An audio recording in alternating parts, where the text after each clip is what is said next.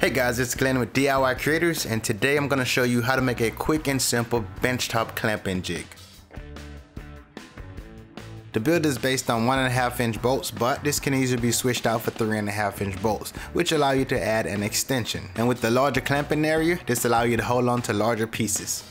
Now I didn't have any way of testing the clamping force, but for what I need this for, this will get the job done. Now as I begin the build process, I can now make my first cut at 14 inches. Then, after making the first pass, cut the board down the width, I'm going to flip the board around again and then also make a second cut at 14 inches. I'm going to need to do this twice because I need two of those. Now any plywood should work just fine, I'm just using pieces that I had laying around in the shop. Next, locate a piece of solid stock, preferably hardwood because we want to put thread in at least one of these. After marking out the width of the board, you want to rip those down on the table saw. You're going to need two of these. And both of these will be used for the front and the back bar of the clamp. Next, I'm going to make the bar the same width as the base and instead of pulling out a tape measure, I'm just going to line them up and make a mark. Now cut the lumber at the line and a quick tip for you if you ever need to make some precise cuts, always practice on something that you don't need and then you can make your final cut. And we're on to the next step. Now I need to laminate the two pieces of plywood base that I recently cut. Now just place weight on top of it or you can just clamp that down as well and allow enough time for the glue to dry. And over at the drill press, I'm going to be drilling the front and the back bar, but I did set up a stop and a quick jig so that I can drill consistent holes on both sides. So on the drill press, I set up a stop so I didn't go all the way through. If you're using a drill to make this, just put tape on it, and this way you don't go all the way through as well. For this piece, I'm going to remove the stop and run the bit all the way through. The threaded rod needs to pass through this and into the next.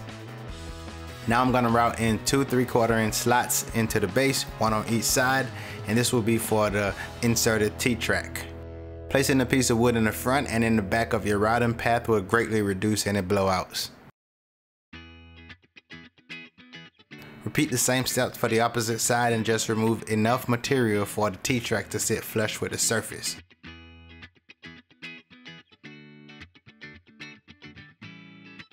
Cut the T-track to the length of the board. It's made of aluminum so you can cut it with a metal cutting blade or you can also use a handsaw. Now cut the two threaded rod to extend just beyond the base of the jig.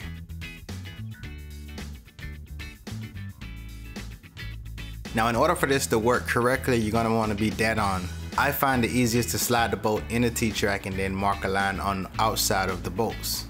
I'm also going to transfer that to a piece of scrap wood and mark end on one side so I know which way to set up the jig at my drill press. Now you're going to want to find the center of this and setting up a jig at the drill press will just allow me to make these holes much faster. Now with the test piece, this actually looks good. So now I'm confident I can just transfer this over to the other pieces and move on.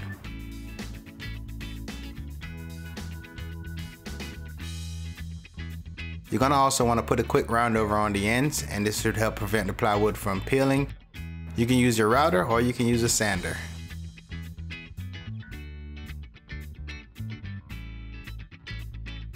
And for the finish, I'm gonna add two coats of shellac on here. I like this because it dries really fast and I can just add my coats really quick and move on. And at this point, we can install the T-tracks.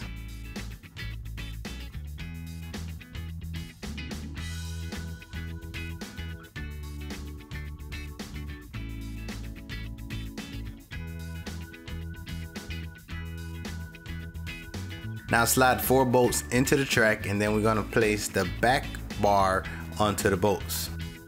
And the way to identify the back bar is the one with the hose that does not go all the way through. Now place the other bar on the two remaining bolts and tighten them down.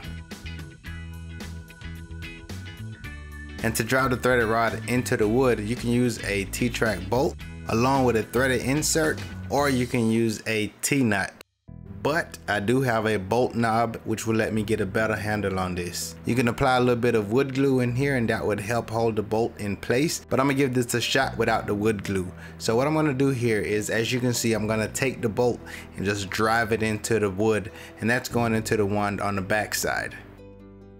And to make this blend in a little more, I'm gonna spray the ends to match the knobs. The way this jig is supposed to work is you wanna lock the front bar in place Then you want to place your subject in the open area.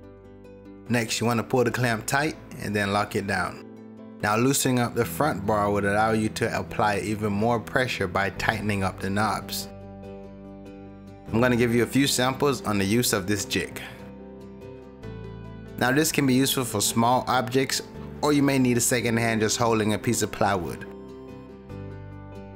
And even with the low profile clamping bars, this does provide a good strong grip. You can use any of the T-Track clamps along with the accessories and you can also take this over to the drill press to use as a helping hand.